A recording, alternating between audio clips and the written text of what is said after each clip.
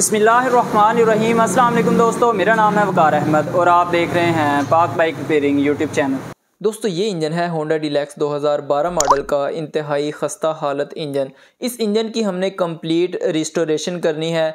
इस इंजन की कंडीशन जैसी बाहर से है, सेम वैसी ही अंदर से है। इस इंजन को मुकम्मल तौर पे डिसअसेंबल करने के बाद, इस इंजन के एक एक पार्ट्स की रिस्टोरेशन करनी है। रिस्टोरेशन करने के बाद इसकी हालत जो है, वो बिल्कुल ज़ीरो मीटर हो जाएगी। आप ख़ुद भी जजमेंट नहीं कर पाएँगे कि ये इंजन वही पुराने वाला है या नया इंजन है। अभी हम आपको इस इंजन का मौजूदा साउंड टेस्ट करवा देते हैं कि इस इंजन का इस वक्त साउंड कैसा है।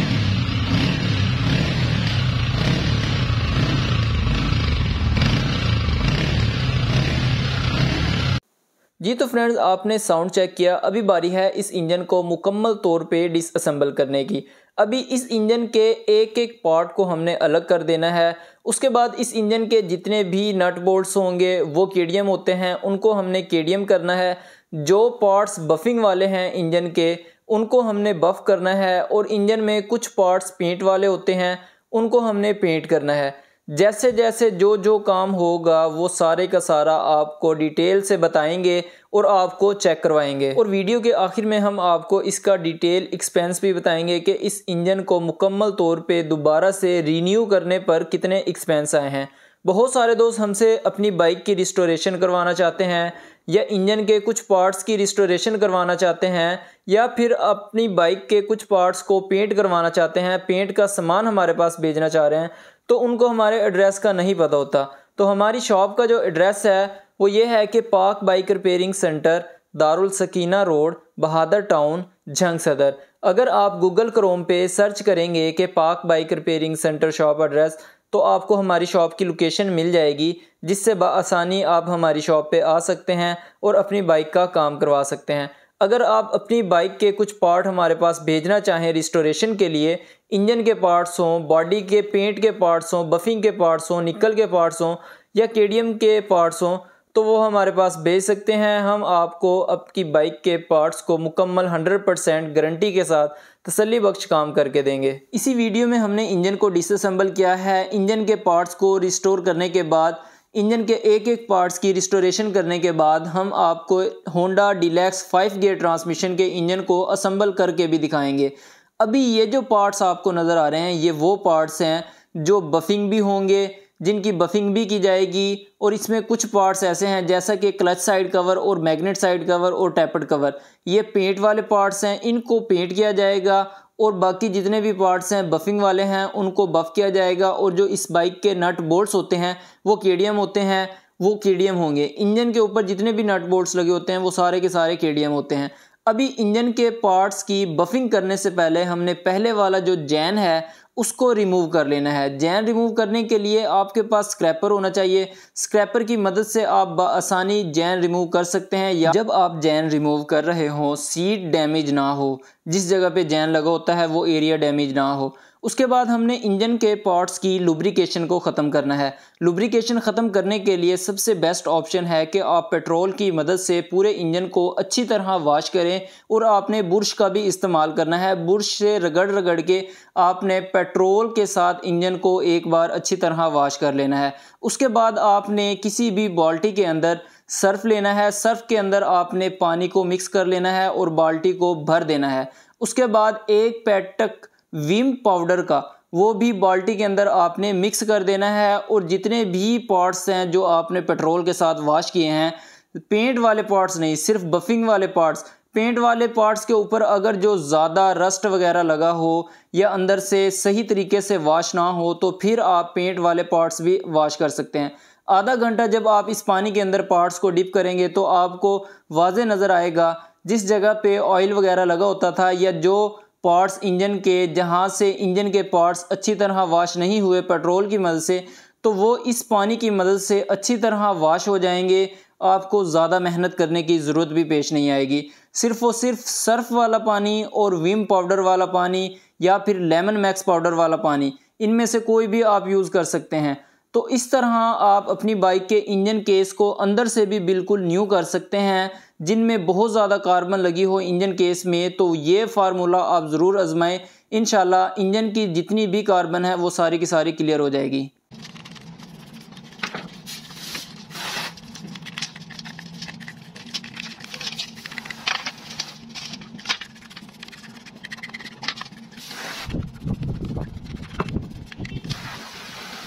अब इंजन को भी आपने उसी पानी के साथ, जिसमें आपने सर्फ और विम पाउडर या लेमन मैक्स पाउडर मिक्स किया है, उसी पानी के साथ इंजन को बुरश की मदद से रगड़ रगड़ के आप वाश करेंगे तो इंजन के अंदर जितनी भी कार्बन होगी वो सारी की सारी साफ़ हो जाएगी और इंजन बिल्कुल अंदर से ऐसा हो जाएगा जैसे बिल्कुल न्यू इंजन होता है। जब आप इंजन को अच्छी तरह वॉश कर लें तो फिर आपके पास एक अदद ब्रीक वायर वाला बुरश होना चाहिए। उसकी मदद से इंजन के पार्ट्स को आपने बहर से बफ़ करना है, यानी जो नज़र आने वाली साइड्स हैं, उन साइड्स को आपने ब्रीक वायर वाले बुरश की मदद से अच्छी तरह बफ़ करना है। अगर आप मोटी वायर वाले बफ़ बुरश का इस्तेमाल करेंगे तो इंजन केस के ऊपर निशान आ जाएँगे जो बहुत बुरे लगेंगे और इंजन केस जो है वो डैमेज हो जाएगा और बफिंग भी अच्छे तरीके से नहीं होगी। और याद रखिएगा, इंजन केस को जब भी आप बफ़ करें, बफ़ करने के बाद आप लेकर नहीं लगाएँगे। अगर आप लेकर लगाएँगे तो आपके इंजन केस जो होंगे, वो येलो हो जाएँगे। जब वो गर्म होंगे तो वो कलर चेंज कर जाएँगे। और आपको मज़ा नहीं आएगा। इंजन केस को या तो फिर आप किसी भी केमिकल की मदद से वॉश कर सकते हैं या फिर नरम वायर वाले बफ़ बुरश की मदद से आप बफ़ कर सकते हैं। एक केस हमने बफ़ कर लिया है, अंदर पैर से आप देख सकते हैं। इसी तरह जो हेड है, हेड को भी आपने बफ़ करना है इसी बुरश की मदद से। हार्ड वायर वाले बुरश का भी आपने इस्तेमाल नहीं करना। कोई भी किसी किस्म का आपको बफ़ बुरश चाहिए हो आपको नंबर डिस्क्रिप्शन में मिल जाएगा। बफिंग का सामान, पेंट का सामान, कोई भी सामान आपको चाहिए, कोई भी पार्ट्स चाहिए, आप उस नंबर पर रबता करके पाकिस्तान के किसी भी शहर में मंगवा सकते हैं। आपके घर बैठे आपको वो पार्ट्स मिल जाएँगे। जो टूल्स हम वीडियोस के अंदर आपको यूज़ करके दिखा रहे हैं, वो टूल्स भी आपको मिल सकते हैं। सिर्फ़ आपने व्हाट्सएप पे रबता करना है इन हम आपको वो सामान प्रोवाइड कर देंगे। सबसे पहले इंजन केस को बफ़ करना है। बफ़ करने के बाद जो पेंट वाले पार्ट्स हैं, उनका पेंट रिमूव करना है। वो आप बफ़िंग की मदद से भी रिमूव कर सकते हैं या फिर वायर वाले बफ़ बुरश की मदद से भी रिमूव कर सकते हैं। इन दोनों सूरतों में आपने बाद में इनकी रगड़ाई ज़रूर करनी है 320 नंबर के वाटर प्रूफ एमरी पेपर की मदद से। जब इनकी रगड़ाई हो जाए, उसके बाद इन केस को आपने अच्छी तरह खुश्क कर लेना है। जब ये खुश्क हो जाएँ, फिर आपने सिल्वर पेंट करना है। पेंट आपने करने के बाद इनके ऊपर लेकर भी लगाना है। पहले आपने पेंट करना है, फिर भट्टी के अंदर आपने 150 डिग्री टेम्परेचर पर इन पार्ट्स को खुश्क करना है। जब ये खुश्क हो जाएँ, फिर आप इनके ऊपर लेकर लगाएँगे। इन ताला बिल्कुल जेन्यन की तरह आपको रिज़ल्ट मिलेगा। आप देख सकते हैं, ये हाई स्पार्क सिल्वर पेंट हमने किया है, पैंसठ बत्ती नंबर है इसका। इसके बाद हम बर्जर कंपनी का इसके ऊपर लेकर भी लगाएँगे। जो लेकर है, वो भी बर्जर कंपनी का है और जो पेंट है वो भी बर्जर कंपनी का है और दोनों जो पेंट और लेकर हैं, ये भट्टी वाले हैं। आप देख सकते हैं, सारे पार्ट जो हैं, अल्हम्दुलिल्लाह वो रेडी हो चुके हैं। अभी हम आपको इस इंजन की असम्बलिंग करके भी दिखाएँगे। इसको फाइव गेयर ट्रांसमिशन इंजन को किस तरह से डिलैक्स के इंजन को असम्बल किया जाता है एक एक चीज़ की डिटेल बताएँगे। अभी इंजन के जो पार्ट्स पेंट वाले थे, उनको हमने पेंट किया है, जो बफिंग वाले थे, उनको बफ़ किया है और जो नट बोल्ट थे, उनको केडियम किया है। यानी पूरा इंजन जेन्यन तरीके से बिल्कुल हंड्रेड परसेंट ज़ीरो मीटर हो गया है, आप देख सकते हैं। अभी सिर्फ़ इसकी असम्बलिंग बाकी है। बहर से जैसे ज़ीरो मीटर हुआ है इन ताला अंदर से भी वैसे ही ज़ीरो मीटर होगा। ये बाइक हमारे पास मुकम्मल तौर पे रिस्टोरेशन के लिए आई थी। डिलैक्स 2012 मॉडल था। इस बाइक को हमने बिल्कुल जेन्यन कंडीशन में और लेटेस्ट मॉडल 2018 में जब बाइक आई थी, उसके बाद डिलैक्स बंद हो चुके थे। हमने 18 मॉडल में इसको कन्वर्ट करना है। सारी की सारी पार्ट्स की हम आपके साथ डिटेल भी ज़रूर शेयर करेंगे। अभी आप देख सकते हैं इंजन पार्ट्स की शाइनिंग इंजन अंदर से भी आप चेक कर सकते हैं। बिल्कुल ज़ीरो मीटर है। किसी किस्म का आपको एक परसेंट भी कार्बन नज़र नहीं आएगा। अंदर से भी ज़ीरो मीटर हो चुका है। इंजन बैर से भी ज़ीरो मीटर हो चुका है। और आप side covers, magnet side cover और क्लच साइड कवर को अंदर से भी चेक कर सकते हैं और इसकी जो शाइनिंग है बैर से, वो भी बहुत ही ज़बरदस्त आई है क्योंकि हमने इसके ऊपर बर्जर का महँगा लेकर होता है, वो बर्जर का लेकर लगाया है। अभी बारी आ जाती है इंजन को असम्बल करने की। इंजन को असम्बल करने के लिए सबसे पहले आपने किक स्पिंडल को मुकम्मल कर लेना है। जब भी आप C G one two five या डिलैक्स का इंजन फिट करें, किक स्पिंडल जो है, किक स्पिंडल का स्प्रिंग जो होता है, वो आपने ज़रूर रिप्लेस करना है। क्योंकि अक्सर C G one two five या डिलेक्स का किक स्प्रिंग जो है वो टूट जाता है। किक स्पिंडल को आपने सेंटर वाले केस के अंदर पहले फिक्स कर लेना है, उसके बाद गेट ट्रांसमिशन को फिक्स करना है। सबसे पहले बड़ी गरारी जिसके ऊपर बक्सा चलता है, वो आपने फिक्स करनी है। उसके बाद उसके साथ वाली गरारी, उसके अंदर एक बुश आएगा, उसके ऊपर एक वाशल आएगी। उसके बाद आपने मेन शाफ्ट फिट करनी है। मेन शाफ्ट फिट करने के बाद फिर एक ड्राइवर आएगा। ड्राइवर के बाद अंदर बुश आएगा। बुश के ऊपर एक वाशल आएगी। उसके बाद आपने फिंगर गरारी को फिक्स करना है। फाइव गियर ट्रांसमिशन में जो फिंगर्स हैं, वो तीन आएँगे, क्योंकि फाइव गियर ट्रांसमिशन है। सबसे पहला फिंगर आपने फिक्स करना है गियर ड्रम के साथ उसको अटैच कर देना है। फिर सेकंड फिंगर जो है, वो आएगा मेन शाफ्ट के अंदर। उसको फिक्स करना है और गियर ड्रम के अंदर फिट कर देना है। उसके बाद फिर जो काउंटर शाफ्ट आपने लगानी है, सबसे एंड में लास्ट वाला फिंगर आएगा। उसको आपने काउंटर शाफ्ट के अंदर लगाना है और गेयर ड्रम के अंदर फिक्स कर देना है। उसके बाद फिर आपने शिफ्ट फोर्क की पिन लगा देनी है। पिन को लुब्रिकेट कर लेना है। तीनों शिफ्ट फोर्क हमने फिक्स कर लिए हैं। आप देख सकते हैं और तीनों को गेयर ड्रम के साथ भी अटैच कर दिया है। गेयर ट्रांसमिशन के हवाले से detail video, five gear transmission की स्प्रॉकेट्स को गेयर ड्राइवर्स को कैसे फिट कर सकते हैं? डिटेल वीडियो इन ताला बहुत जल्द आएगी। उसके बाद आप देख सकते हैं, हमने सारे ड्राइवर्स फिट कर लिए हैं, सारी वाशर लगाई हैं, कैसे लगाई हैं? सारी डिटेल आपके सामने है, आप भी ऐसे ही फाइव गेयर ट्रांसमिशन को लगा सकते हैं। उसके बाद बारी आ जाती है डावल पिन लगाने की। क्रॉनलिफान कंपनी की जो डावल पिन हैं, इनका जो साइज़ होता है बिल्कुल एक्यूरेट होता है। अगर आप डावल पिन प्रॉपर नहीं लगाते तो जैन की लीकेज है वो भी ठीक नहीं होगी, हमेशा जैन लीक रहेगा और इंजन के अंदर से जो आवाज़ें हैं वो भी बिल्कुल क्लियर नहीं होंगी।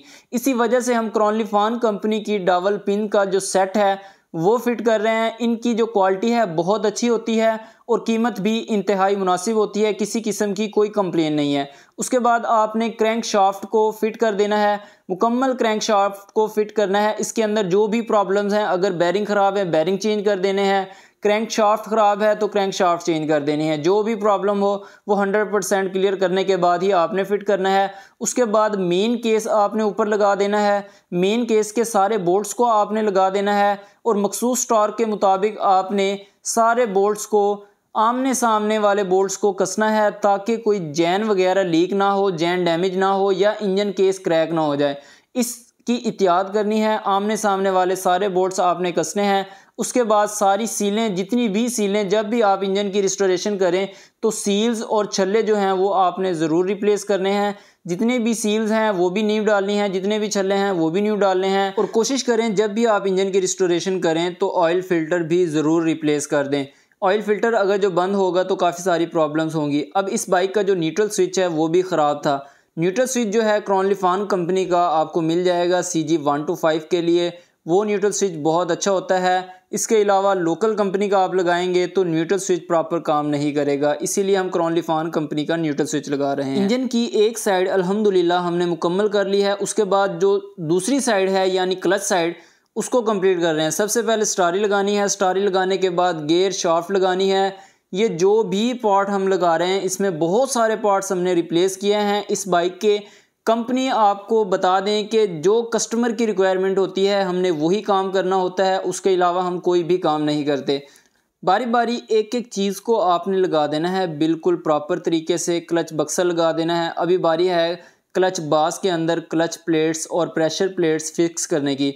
अब होंडा डिलैक्स के अंदर जेन्यन फिटिंग जो है, उसमें एक अदद बरीक क्लच प्लेट और दो अदद स्प्रिंग आते हैं, जिसको जेंडर स्प्रिंग कहते हैं। बेसिकली इनका काम यह है कि जब हम क्लच को प्रेस करते हैं, जब हमने क्लच छोड़ना होता है, एकदम से क्लच को फ्री होना चाहिए। अगर एकदम से क्लच फ्री नहीं होगा तो हमारी बाइक की जो पिक पावर है, वो डिस्टर्ब होगी। इसीलिए इस बाइक के अंदर, क्योंकि ये वजनी बाइक होती है, इसके अंदर जेंडर स्प्रिंग लगाया जाता है और ब्रीक क्लच प्लेट और प्रेशर प्लेट लगाई जाती है, ताकि क्लच जो है हंड्रेड परसेंट सही वर्क करे। आप देख सकते हैं, सारी क्लच प्लेट्स और प्रेशर प्लेट्स हमने फिक्स कर ली हैं। इनको हमने लुब्रिकेट किया है, एक एक प्लेट को, उसके बाद ही हमने इनको फिक्स किया है। और जब ये मुकम्मल हो जाए, उसके बाद हमने इसको बाइक के साथ फिक्स कर देना है। अगर क्लच बास का साइज़ डाउन होगा, आप जितनी भी अच्छी क्वालिटी की क्लच प्लेट्स और प्रेशर प्लेट्स डाल लें क्लच प्रॉपर वर्क नहीं करेगा। क्लच प्लेट्स जल्दी डैमेज हो जाएँगी। और जो ये बक्से के स्प्रिंग होते हैं, अगर ये भी सही तरह काम नहीं करेंगे, यानी कि ज़्यादा प्रेस होंगे, सही काम नहीं करेंगे तो क्लच भी हमारा सही काम नहीं करेगा। बहुत ज़्यादा हार्ड होने से भी प्रॉब्लम होती है कि क्लच काफ़ी हार्ड हो जाता है और बिल्कुल नरम होने से भी जब हम बाइक को चला रहे होते हैं क्लच प्लेट्स प्रॉपर सही काम नहीं करती और इंजन के अंदर शोर ज़्यादा पैदा होता है, उतनी बाइक हमारी चल नहीं रही होती। जबकि क्लच प्लेट्स जब ख़राब होती हैं, उस वक्त भी यही कंडीशन होती है सेम वही कंडीशन उस वक्त भी होगी। सेंटीफुगल फ़िल्टर जो है, वो हमने साफ़ करने के बाद जैन नया लगा के उसको फिक्स कर लिया है। हर बीस हज़ार किलोमीटर के बाद इस फ़िल्टर को ज़रूर वॉश करवाएँ। अगर इसको साफ़ नहीं करवाएँगे तो इंजन के अंदर से जो ऑयल होगा, वो जल्दी ख़राब होगा और इंजन ऑयल जो है, वो आपको वक्त से पहले तब्दील करवाना पड़ेगा। जब भी इंजन की रिस्टोरेशन की जाती है, जो टाइमिंग गेयर है केम गरारी भी जिसे कहते हैं, वो आप ज़रूर रिप्लेस करें, क्योंकि टाइमिंग गेयर के अंदर हल्का सा भी कचरा आ जाए या उसके ऊपर कोई चोट लग जाए थ्रस्ट लग जाए तो उस वक्त टाइमिंग गेयर जो है वो अपनी आवाज़ बिल्कुल ठीक नहीं करता उसके लिए हमें टाइमिंग गेयर जो है वो रिप्लेस करना पड़ता है। अब पिस्टन के अंदर रिंग जो हैं वो डालने हैं। पिस्टन के रिंग डालने से पहले सिलेंडर के अंदर एक बार रिंग्स को आपने चेक कर लेना है। जिस नंबर का पिस्टन होगा सेम उसी नंबर के ही आप रिंग्स फिक्स सबसे करेंगे। पहले पिस्टन के अंदर आपने जाली वाला रिंग फिक्स करना है। उसके नीचे सबसे पहले फिर ऑयल वाला रिंग होगा फिर सेंटर में जाली वाला रिंग होगा फिर उसके ऊपर एक और ऑयल वाला रिंग होगा। उसके बाद एक देगी रिंग होता है, जिसके ऊपर मार्क होता है। जिस साइड पे मार्क होगा, कंपनी का मार्क होगा, वो साइड आपने ऊपर करनी है। सेम यही प्रोसेस है ऊपर वाले रिंग का भी। पिस्टन के हवाले से डिटेल वीडियो अलग से अपलोड कर चुका हूँ। लिंक आपको इस वीडियो के डिस्क्रिप्शन में मिल जाएगा। काइंडली ज़रूर विज़िट कर लीजिएगा। उसके अलावा हेड फिक्स करना है। हेड के वाल, जब भी आप इंजन की रिस्टोरेशन करें तो वाल न्यू डालने चाहिए। वाल न्यू डालने के बाद वाल की सीलें भी रिप्लेस करनी चाहिए। स्प्रिंग के नीचे वाशल होना ज़रूरी है। वाशर रखने के बाद आपने स्प्रिंग को फिक्स कर देना है। इन ताला हेड के जो वाल्स हैं, वो बेहतरीन काम करेंगे। हेड के वाल आप किसी भी अच्छी कंपनी के यूज़ करें। लोकल खरादिए से डलवाने की ज़रूरत नहीं है। रॉकर पिन भी हम हर वक्त रिप्लेस करते हैं। जब भी इंजन की रिस्टोरेशन करते हैं, उस वक्त हम इंजन की रॉकर पिन को ज़रूर रिप्लेस करते हैं। अदरवाइज़ रॉकर पिन की वजह से टैपर्स की एडजस्टमेंट प्रॉपर नहीं होती। टैपर्स अगर आप स्टैंडर्ड साइज़ पे करेंगे तो टैपर्स आवाज़ करेंगे। उसके बाद पिस्टन को इंजन के अंदर फिक्स कर देना है। इंजन के अंदर फिक्स करने के बाद पिस्टन के रिंग्स के ऊपर आपने लुब्रिकेट लगाना है। उसके बाद सिलेंडर को फिक्स करना है। सिलेंडर फिक्स करने के बाद हमने पिस्टन को टॉप पोजीशन पे ले आना है। गैस किट लगाना है। गैस किट लगाने के बाद हमने हेड को फिक्स कर देना है। हेड के चार अदद बोल्ट्स होते हैं। चारों बोर्ड्स को मखसूस स्टार के मुताबिक आपने टाइट कर देना है। उसके बाद पुश रॉड आपने लगाने हैं। पुश रॉड लगाने के बाद आपने टैपट पट्टी जो है, रॉकर पट्टी भी जिसे कहते हैं उसको लगाना है, उसके बोर्ड्स प्रॉपर टाइट करने के बाद आपने फिलर गेज की मदद से ज़ीरो इशारिया ज़ीरो आठ एम एम की फिलर गेज की मदद से टैपर्स की एडजस्टमेंट करनी है और फिर आपने टैपट कवर लगा देना है।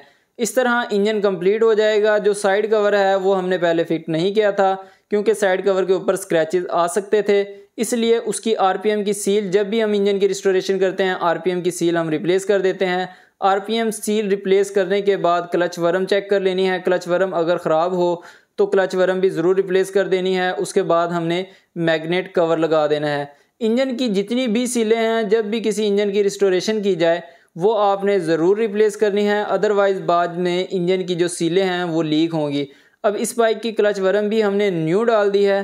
क्लच वरम न्यू डालने के बाद साइड कवर को हमने इंजन के साथ फिक्स कर देना है और जैन भी हमने नया लगाना है। इन बहुत जल्द जिस बाइक का ये इंजन है, उस बाइक की complete restoration and expense detail की वीडियो भी अपलोड करेंगे, जिससे आपको पता चल जाएगा कि फटीचर बाइक की रिस्टोरेशन पे एक्सपेंस कितने आते हैं और उसको किस तरह से रिस्टोर किया जाता है। एक एक चीज़ की डिटेल आपके साथ इन ताला ज़रूर शेयर करेंगे। ये इंजन कंप्लीट हो चुका है, अल्हम्दुलिल्लाह, फाइनल लुक आपके सामने है। अब ये वही इंजन है। इस इंजन को हमने बिल्कुल ज़ीरो मीटर बना लिया है। अल्हम्दुलिल्लाह, आप देख सकते हैं, बिल्कुल ज़ीरो मीटर है। अभी बात कर लेते हैं, इस इंजन पर एक्सपेंस कितने आते हैं। अगर आपके पास कोई भी बाइक का इंजन है, उसके पार्ट्स हमारे पास खुलवा के भेजते हैं तो इंजन के पार्ट्स की कंप्लीट रिस्टोरेशन पे के बफिंग पेंट पे जितना एक्सपेंस आता है, वो पाँच हज़ार रुपये पाँच हज़ार रुपये में हम आपको इंजन की मुकम्मल रिस्टोरेशन करके देंगे, अगर इंजन को मुकम्मल तौर पे खुलवा के भेजते हैं। अगर आप अपनी बाइक लेके आते हैं तो फिर हम आपको इंजन खोलने, कसने की मजदूरी आपको एक्स्ट्रा ऐड करनी पड़ेगी, जिसका जो एक्सपेंस है, वो तकरीबन सात हज़ार रुपये है। इंजन के जो भी पार्ट्स डलेंगे, उनके चार्जेस अलग से होंगे। जब इस बाइक की कंप्लीट रिस्टोरेशन की वीडियो हम अपलोड करेंगे, उसमें इस बाइक के टोटल एक्सपेंस बता देंगे आपको कि इस बाइक पे कितने एक्सपेंस आए हैं। अभी आप इस इंजन की कंडीशन देख सकते हैं। इन ताला इस इंजन का साउंड भी आपको उसी वीडियो में चेक करवाएँगे। ये वीडियो पसंद आए तो लाइक कर दीजिएगा। चैनल सब्सक्राइब नहीं किया तो प्लीज़ सब्सक्राइब कर दीजिएगा। मिलते हैं इन ताला नेक्स्ट वीडियो में। तब तक के लिए अल्लाह हाफिज़।